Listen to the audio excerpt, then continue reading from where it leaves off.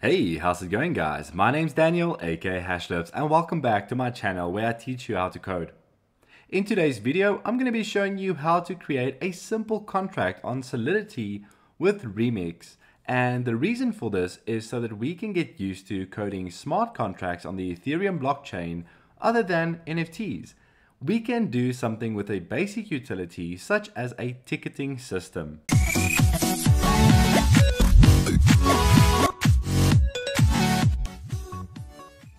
If at any point you are struggling with the code, please go ahead and go to the hashlips.online website where you can find our Discord server. The Discord server consists of a lot of family members of the Hashlip community along with devs that will help you out with your problems. To follow along with this tutorial, we're simply going to go to remix.ethereum.org, which is a great online Solidity compiler. This purpose of this program is to take the code that we write and compile it into bytecode. Remix is a great playground for experimenting with Ethereum-based Solidity contracts, and that's why we're going to be using it.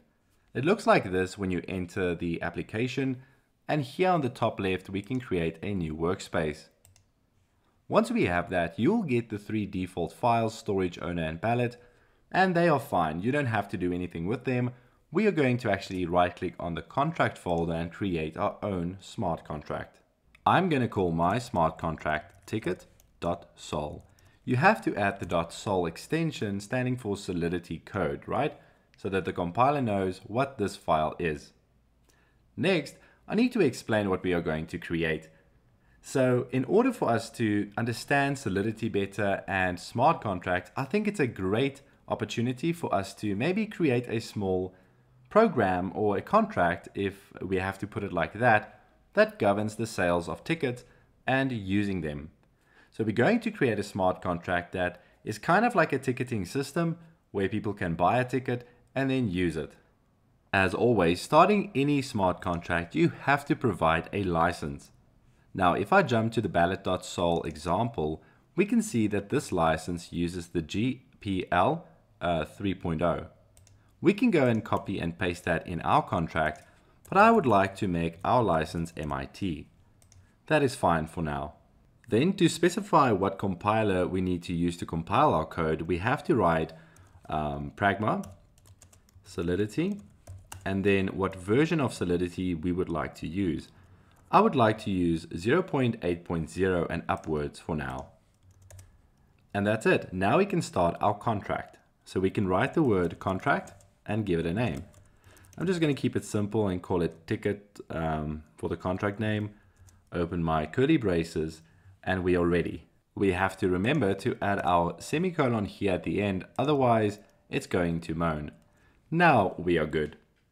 Perfect. So we are doing this on the fly, so we'll just come up with concepts as we go along. I know for a fact if we want to say, sell a ticket, basically, uh, buy and sell a ticket, we need some kind of way of storing who owns what ticket. A great mechanism for that is using a mapping. Keep in mind that we might as well have used an ERC20 token and used it as a ticket. But that is boring and we want to create something new from scratch and also it's a bit bulky for our use case. So let's create our storage mechanism which we are going to use a mapping for. Our mapping is going to be a mapping from address to uint. And then we're going to call this ticket, uh, maybe ticket holders, like so. This ticket holders I'm going to specify as being public, just so that we can test with it when we run our program. Now, when we go to the deploy and transaction section, what we can see is there's our ticket contract. I'm going to deploy it just to show you that we now have our public variable. When you define something as public on Solidity, it automatically creates for you a getter function, meaning that we can enter an address and we can get the value back here. Obviously, nothing would be in here um, as of yet, so what we need to do now is create a function for adding tickets and subtracting them. Let's now create two different functions. The one is going to be add ticket, and the other is going to be subtract ticket. These are going to be internal functions. So what do I mean by that? Well, we're going to give it a name and we need to give it some um, signatures like this. Then we're going to define this as internal. When you do define something as internal, it means that only this um, contract will be able to make use of it. It doesn't need to be accessible from the outside world because the thing is, we would create a helper function such as buy a ticket or use a ticket, and these will use our internal functions. The reason why you want to separate functions like this is so that you can keep your code nice and concise. Even though this function will not be callable from the outside world, it is however callable from contracts that derive from this contract. So it's just a way to make a function protected and it's nice convention to follow. We are not done yet because adding a ticket we probably need two parameters. We will need an address. So let's create an address and we'll call this the user. And then we will need the amount. So the amount would be a uint256, like so. So we need the user's address and the amount of tickets that's going to be allocated to this user. Let's define the workings of this function. In essence, all we need to do is pull out the actual user now or point to the user that's in our ticket holders mapping and basically add the ticket. So this user might already have tickets, so we need to kind of say that this will be the ticket holder's amount, right? Plus the new amount. So that's how you can specify it. Once we have this, we know that we can confidently add more tickets to a user. Later on, we can specify some logic to say that a user is only to allowed to have one ticket, but for now, we will pretend that a user can buy as many tickets as they want. Like I said, now we need to create the public facing function. So we're going to create a new function and this time I'm going to specify and call this as buy tickets. Now, by doing this, I realized that a better function name for the add tickets would be add tickets, plural, not singular. And there we go.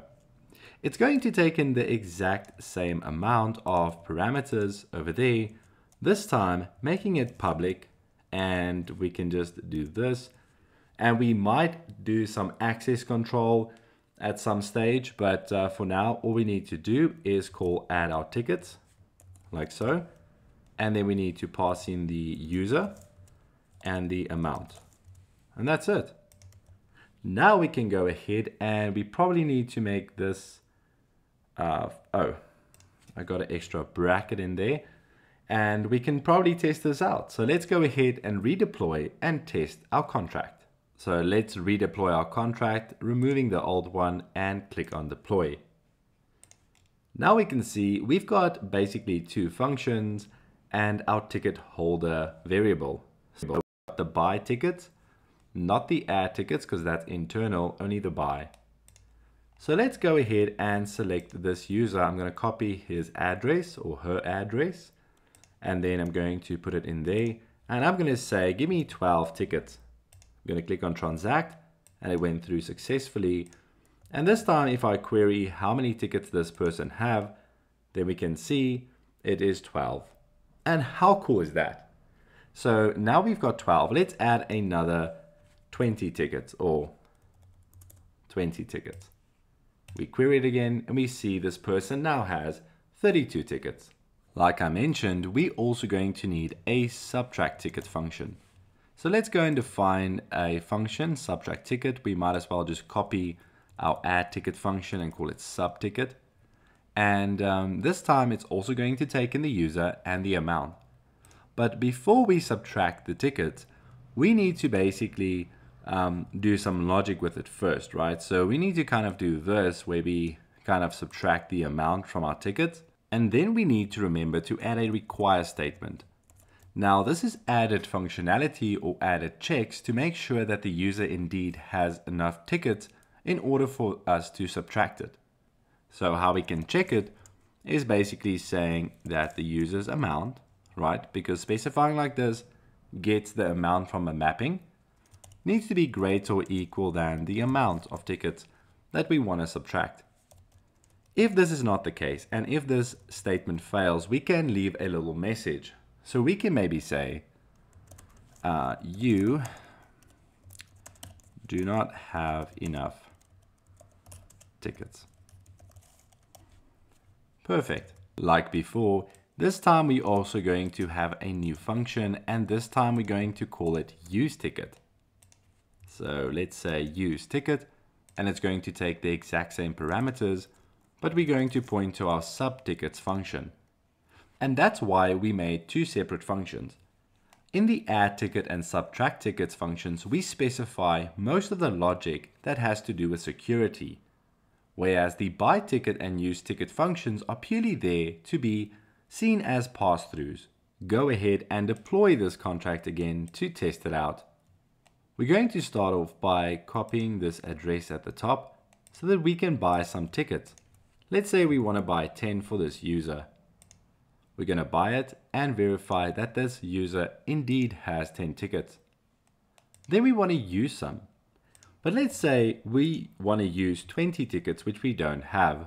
If I say use tickets, it's going to break and tell me you do not have enough tickets. If I only want to use five of them transact, it will go through successfully and we can see that the holder now has only five.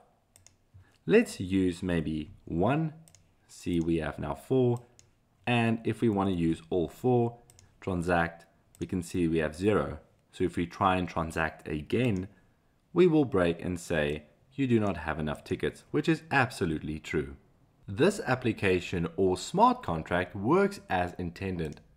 The only thing that we might need to add is maybe a price so we can say that we need a ticket price and we're going to equal it to 1.1 ether like so and then we can actually ask someone to pay this amount of ether before we allow them to buy tickets. So how we can do that is by changing this function, the buy function, into a payable then we can add a require statement down here.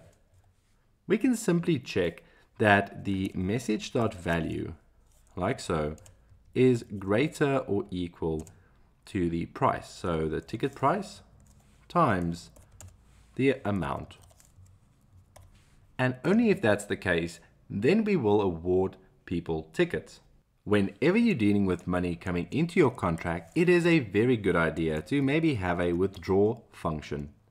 Without a withdraw function, it would be very hard or almost impossible to get that ether out again. So for withdraw, we're going to say this is going to be public and we need to say that only the owner can call this. So let's go ahead and specify a new address and call this owner. Now that we have this, we're not going to specify who the owner is immediately. We are going to have a constructor function and in here set the message.sender like so is going to be, well, the owner is going to be equal to the message.sender like so. This from the get-go sets the message.sender's address as our owner. All that's left to make it nice and secure is to put a require statement saying that the message like so dot sender needs to be equal to our owner's address. Basically, it needs to be the owner. And then we can put a nice message saying you are not the owner, like so, if this fails. After this has passed, we can basically go ahead and now send the ether. So let's go down here and say we need something that's payable. We're going to typecast something into payable. We're going to cast the owner's address. Then we're going to say, let's use the call functionality and put our curly braces. We're going to pass a value. The value that we want to pass is this addresses balance. So I'm going to typecast the address of this and this keyword means this contract. So the address of this contract balance, like so. And we need to specify that at the very end. Now the call function basically returns to us a boolean value which we can extract. So I'm going to call this boolean success and omit the second returned value. And then once I've done that, I'm going to just require that this was successful here at the bottom. Now that that's done, we have our withdraw method set up and we know that only the owner can withdraw the money. So let's go and test it out for a final test. We can go to the deploy and transaction section, clear out the previous deployments and redeploy this contract.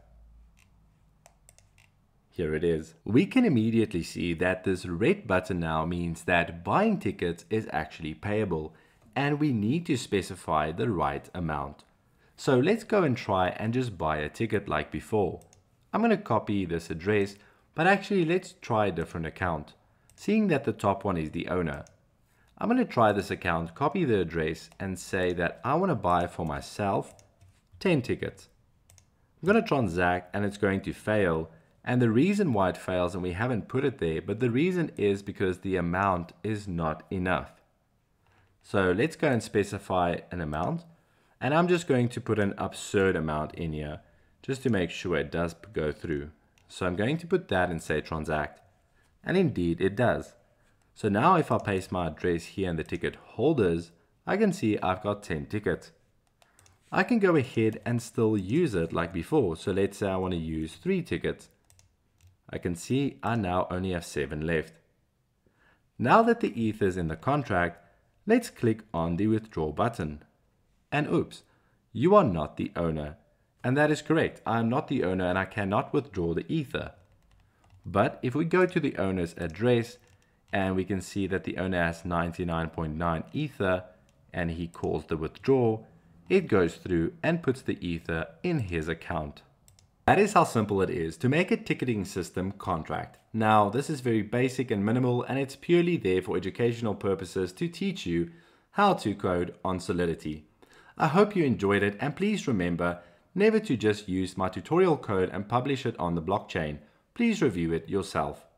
Then, that being said, leave me a comment in the description what you want to see next, me coding and teaching you guys. Also leave a thumbs up and subscribe if you want to see more awesome content. Till later, see you in the next video.